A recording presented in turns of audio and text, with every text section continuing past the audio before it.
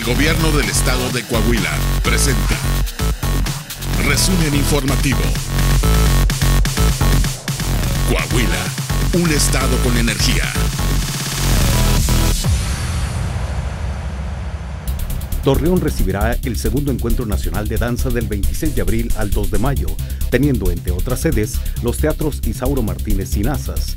En el marco del anuncio de este importante evento, se firmó un convenio de colaboración para preservar y difundir el patrimonio cultural, histórico y artístico del Estado, en un acto celebrado en el Palacio de Bellas Artes de la Ciudad de México. El mandatario estatal encabezó en Viesca la reunión de trabajo donde quedó conformado el comité organizador de la Procesión del Silencio, evento que el próximo 3 de abril servirá para atraer más turismo a este municipio, generará una derrama económica importante y permitirá preservar la cultura y tradiciones.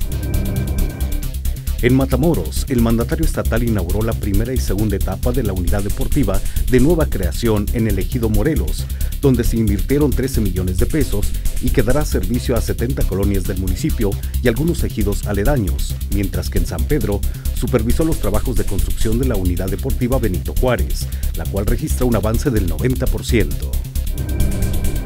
Como un reconocimiento a los logros, el trabajo y el esfuerzo de las mujeres en Coahuila, el gobernador del estado junto a la presidenta del Consejo Consultivo del DIF Coahuila entregó la presea Mujer de Valor en su edición 2015 a 11 mujeres que representan a las cinco regiones de la entidad.